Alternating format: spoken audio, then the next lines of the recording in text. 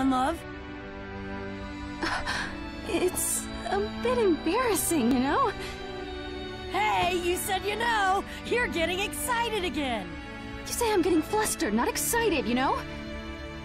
You said it again!